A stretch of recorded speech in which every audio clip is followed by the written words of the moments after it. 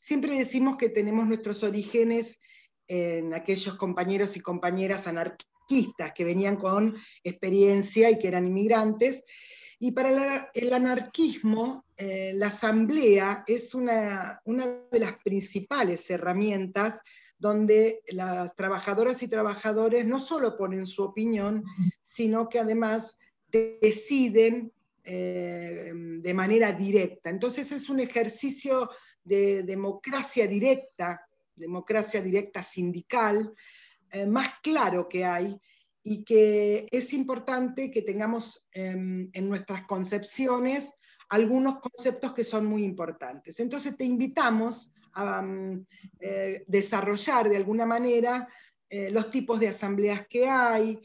cuáles están en el estatuto, qué características tienen, y después entrar en lo que significa una asamblea en un lugar de trabajo que tiene cosas que hay que tener en cuenta y que queremos transmitirle a las compañeras y compañeros del, curso virtual toda esa experiencia acumulada. La asamblea es una herramienta democratizadora que este, desde el anarquismo y desde otras concepciones políticas se ha utilizado en momentos de la historia, pero que fundamentalmente Nate, como vos también lo dijiste al principio, lo que decimos es, siempre decimos la asamblea decide, porque en realidad la asamblea con los compañeros de base, con los trabajadores y con cada uno de los engranajes del sindicato es el elemento de democracia directa más palpable que tenemos en el sindicato para ejercer ese debate político y esa democracia directa que no tiene eh, niveles de representación, que después elige sus delegados en, elecciones y demás, pero sí que donde participan directamente los afiliados. Lo que sí tenemos en ATE son distintos tipos de asambleas. Tenemos asambleas de trabajadores, eh, afiliados y no afiliados, donde han, participado trabajadores afiliados y no afiliados, este, que generalmente se hacen para debatir, para informar, para abordar problemáticas y para tomar algunas resoluciones al respecto.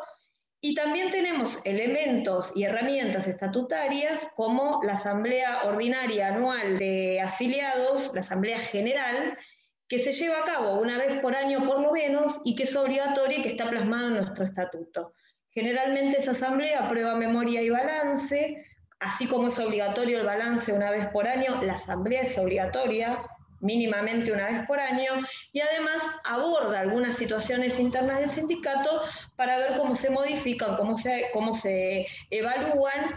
Y finalmente lo que también sucede en las asambleas anuales ordinarias, que tienen su mecanismo, que tienen su, eh, por estatuto fijado su orden y su, y su progreso, digamos, como asamblea, es que se hace una evaluación de lo acontecido el año anterior, una memoria viva y una memoria activa de todos los pasos que se siguieron para abordar futuras eh, problemáticas. Generalmente en nuestro sindicato eh, nosotros hacemos una asamblea anual ordinaria y en la gran mayoría de los consejos directivos provinciales la continuamos con una asamblea anual extraordinaria que se fija posiciones, pasos y, hace una evaluación política del tiempo que viene para poder avanzar a paso firme eh, respecto de la situación nacional, provincial, local muchas veces, para avanzar en un plan de acción un poco más ordenado, que por supuesto no, fija todas las pautas de un, plan de acción anual, pero sí un lineamiento político sobre cómo abordar las distintas problemáticas que se entiende y se prevé que van a suceder durante el año. Eh, esa asamblea en particular, que es estatutaria, que es obligatoria, tiene eh, determinados pasos. Por ejemplo, se elige una mesa con presidente, vicepresidente, secretario de acta, se toma nota, se lleva un acta eh, respecto de las cosas que van sucediendo. Se eligen, en el caso de las seccionales, se eligen los, congresales hacia el Congreso Provincial. Eh, por eso decimos que es tan importante llevar adelante estas asambleas porque si no se llevan adelante, entonces ese ejercicio de democracia directa que eligen los congresales, que después debatirán en el Congreso provincial y este, llevarán adelante la propuesta de toda la provincia al Congreso Nacional, digamos, es una cadena que se rompe eh, y que es muy necesaria para abordar la política del sindicato. Entonces,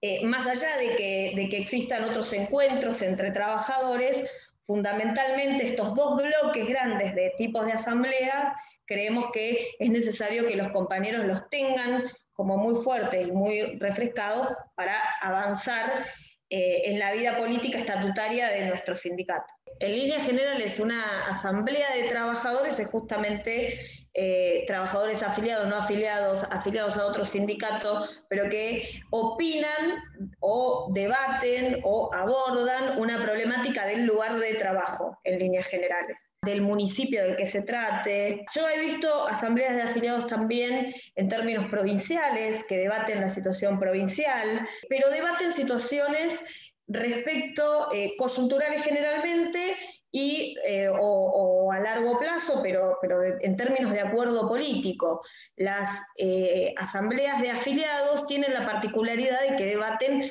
cuestiones del sindicato. Entonces, como debaten cuestiones del sindicato, quienes las debaten y tienen posibilidad de decisión sobre el sindicato son los afiliados eh, que normalmente son parte de la vida del sindicato diaria.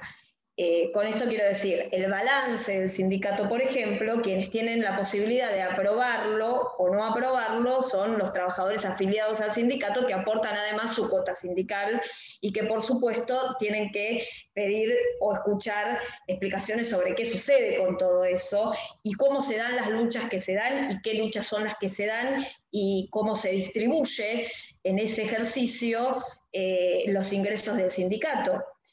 cómo se, eh, cómo se componen las partidas del sindicato y cómo se, Nosotros siempre decimos que ATE es un sindicato que destina sus recursos a la lucha o a la reivindicación de derechos. Bueno, ¿cómo, cómo se justifica esa, esa reivindicación de derechos y se rinde cuenta sobre la vida interna del sindicato? Eso compete directamente a los afiliados del sindicato no a los trabajadores en general y mucho menos a los afiliados de otros sindicatos, que en su sindicato, por supuesto, pedirán las mismas explicaciones o, escucharán la rendición de cuentas que, por supuesto, corresponde.